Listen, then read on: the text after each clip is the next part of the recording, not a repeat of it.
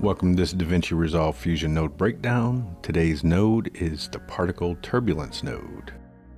So we're going to jump into Fusion where we've got a fresh emitter and we're going to add a P turbulence and stick it in after our emitter. Now what the particle turbulence node does is it creates like a frequency based chaos on the position of each particle, making the motion become unpredictable or, or, uneven. And we can basically manipulate and change the strength and how it affects our particles. So jumping in the turbulence, if I go ahead and just play this back, you can see by default, we've got turbulence going on. And up top, we have the ability to change our random seed of the turbulence. We can select reseed or time lock. We can change the X, Y, and Z strength of our turbulence independently. And we can change the strength over life. So we can go from nothing to a lot of turbulence at the end of the life of our particles. And uh, let's jump in our particles and make sure we got a style and uh, some emitter controls going correctly. And we'll go to controls and we're to give us like, say 200 particles. And our lifespan, we'll make sure it's long enough to cover our frames. So we'll make that 300. And I'm not to change the velocity or anything. I'm to let this uh, particle turbulence do the work. And let's change this variance up to say 50 and our number to say 20. All right, so this is what the particle turbulence node is doing. It's creating this disturbed noise throughout our, uh, our image or uh, throughout our particle system. So down here we have density and what this density does is it changes how dense the turbulent field is. So if we move this way down, you can see it's going to create these thicker, more defined waves of turbulence. And if we raise it up, it's going to be a little less defined. And if we crank it, it's just uh, kind of everywhere. Our conditions tab has the uh, standard conditions that all these particle nodes have. And this is the probability of this node actually affecting all the particles. So if we change this probability down, not all the particles are being affected. If we crank it up, then all the particles are being affected. And right here we have the condition over age. So we can change this to kind of uh, ramp up as the age goes on. And down here we have our sets. As we went over before, what sets contribute to this particle turbulence. Now our region tab over here is kind of like our region in our emitter.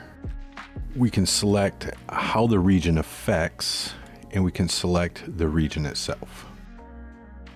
So right now we have all selected on our region, which means our entire region is being affected by turbulence.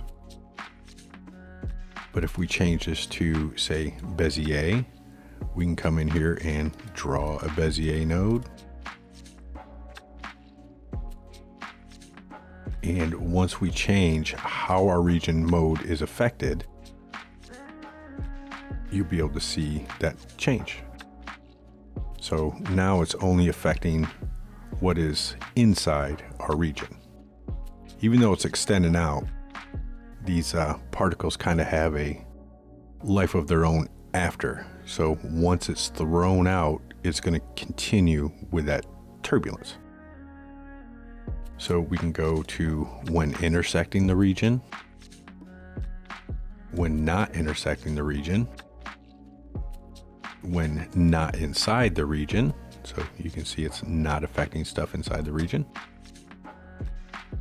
When it's entering the region, and we'd need some velocity to make this move through the region to be able to see that.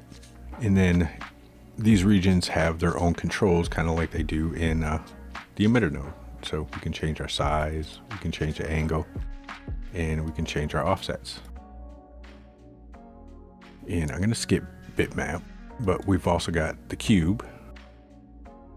And let me change our mode so we can say when it's inside the region.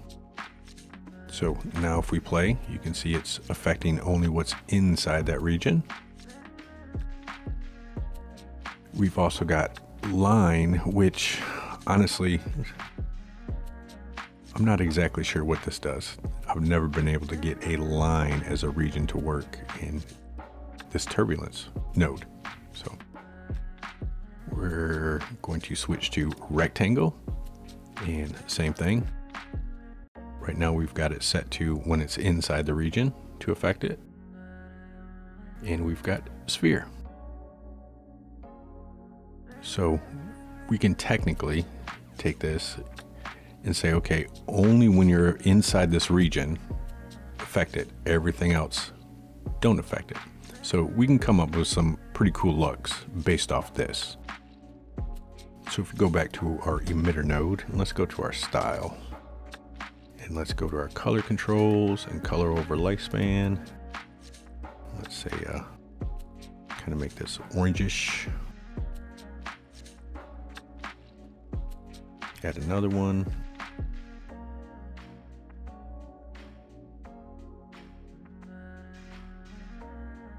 Make this like a green. Add another one. Make this a dark green. And add another one. Let's make this like yellow.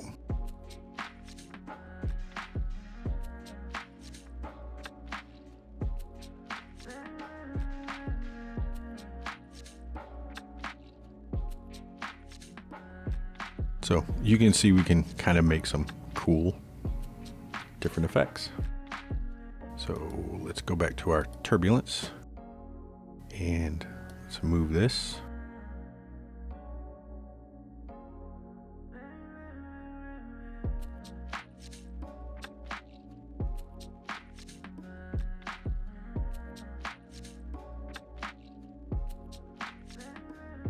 There we go drop our density down a little bit.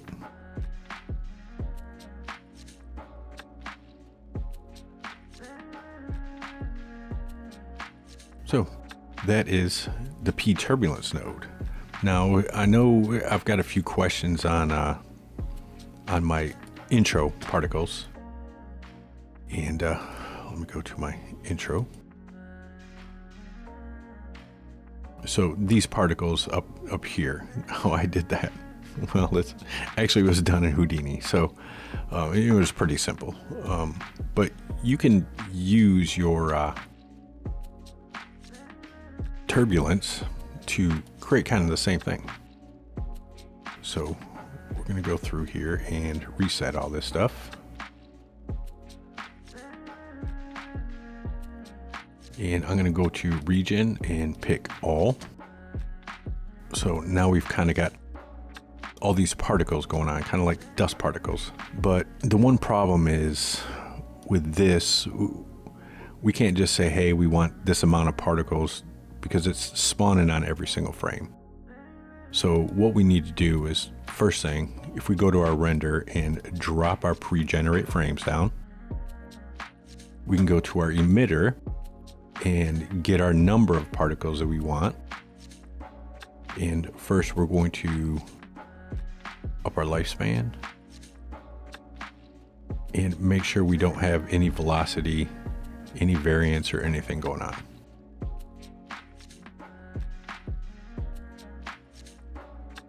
So what we want to do is we want to get our initial number of particles we want to see. So if we want that many dust particles, and actually, let's go through here and we're gonna change this to blob. And I'm gonna go to my size controls and up the size of my blobs. So they're a little bigger dust particles. And we'll change our size variance up a little bit.